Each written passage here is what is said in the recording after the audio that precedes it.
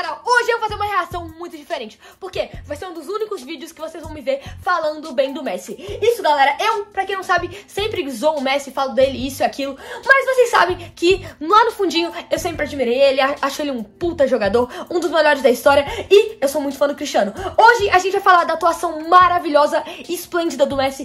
Vamos falar desse GOT debate, né, que pra ver se ainda tem debate entre Messi e Cristiano Ronaldo. Vamos falar pra quem que eu vou torcer, pra Argentina ou pra França. Se você é brasileiro, você não deve torcer pra Argentina, eu vou falar por quê. E cara, vamos falar de muita coisa. Porque, de um lado, a gente tem que torcer pra Argentina, nossos maiores rivais da história do futebol, ganharem. Ou pro Mbappé, esse mimadinho que falou mal do Brasil. Agora sim, vamos fazer essa reação. Mas antes, deixa o like, se inscreve no canal. Eu vou falar de muita coisa. O cara que fez essa thumb maravilhosa, que foi por causa dela que você clicou no vídeo. Aliás, o Kevin tá aqui na descrição, o melhor designer do mundo, caso você queira fazer qualquer coisa de design, faz com ele mesmo. Hoje o React está muito completo. Eu vou falar muito depois da reação, então fique no vídeo. Vamos lá, gente. Hoje vai ter muita coisa depois da reação. Muita, muita mesmo. Quando Donatello fez os marroquinos. Eu falei que eles iam ganhar.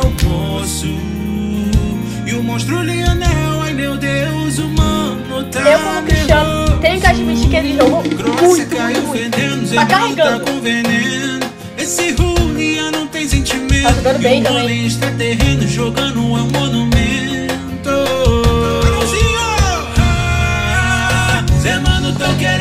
Eles estão jogando, né?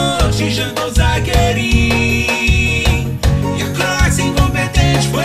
lá contra gente. Cara, contra a gente eles são leões. Contra eles. Zé Mano tão querendo tri. Três jab na boca, lá do xadrezinho. Croácia não jogou. De bola pra frente, cê deu porrada na gente. Tá Nicolas Cagezinho. Vai ter Messi, Mbappé, meu nome. Vai ser massa. vai erguer a taça, ah, já já nós descobre.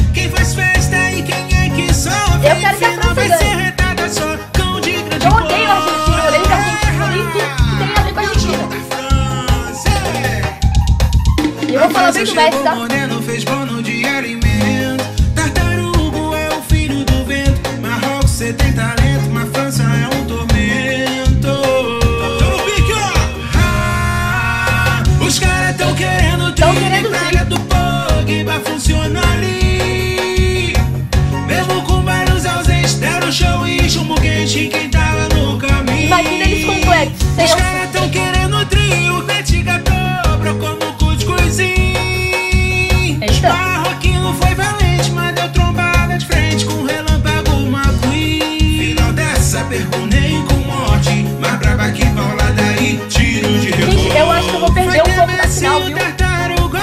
Gol. É Francir, mas nada com craque que resolve. Vamos falar agora que eu tenho muita coisa pra falar aqui pra vocês. Vou falar bem do Messi, vou falar de Cristiano Ronaldo, vou falar dessa final, vou falar pra quem que eu vou torcer, falar de tudo.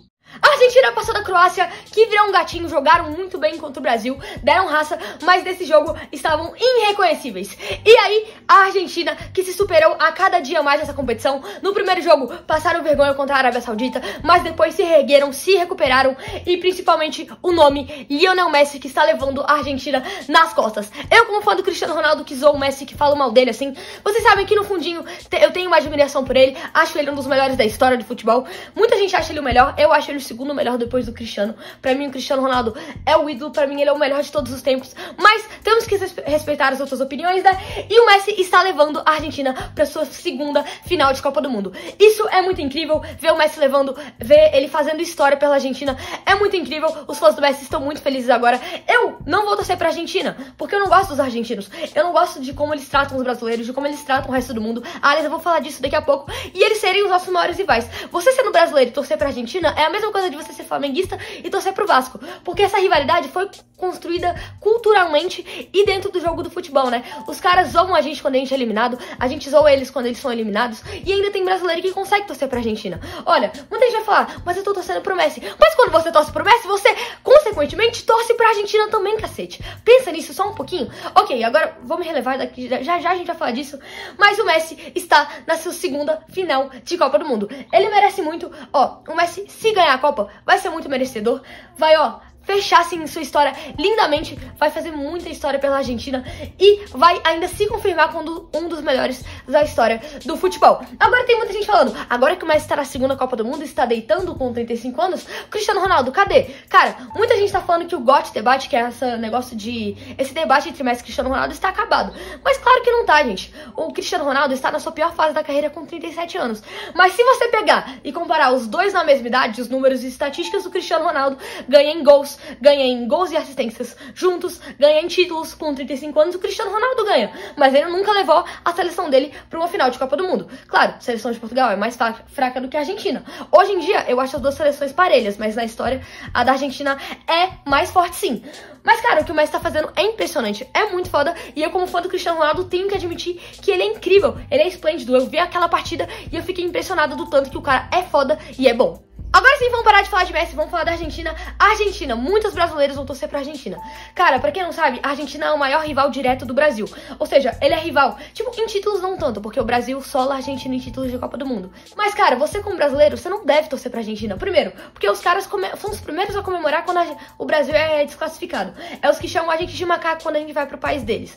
É os que falam as maiores merdas na internet, que chamam a gente de chimpanzés, e você vai torcer pra esses caras. É, saiu um vídeo deles comemorando e zoando é, a a eliminação do Brasil é, no vestiário, o que é um dos motivos de você não torcer. E saiu um vídeo horrendo dos torcedores argentinos falando mal do Mbappé e do fato do, de muitos dos jogadores da França terem origem é, da, dos países africanos. Mas, cara, os caras nasceram na França e os caras estão. os argentinos estão zoando eles por eles terem nacionalidade africana, velho. Isso aí é ridículo. É uma xenofobia, um racismo e ainda fizeram piadas homofóbicas zoando a namorada do Mbappé, que é uma transexual, o que é ridículo. Os caras são xenofóbicos, racistas e homofóbicos, e tem gente brasileira que é um dos zoados, principalmente, que sofre racismo, que vai torcer pra esses caras. Olha, você faz o que você quiser, mas fica esse pensamentozinho que você tá apoiando esse comportamento desses caras.